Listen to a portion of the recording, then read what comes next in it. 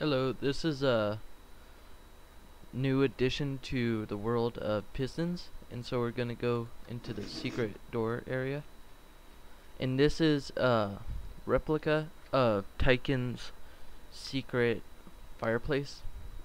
So what you do is you press this button to smelt the fire and you could go down into this.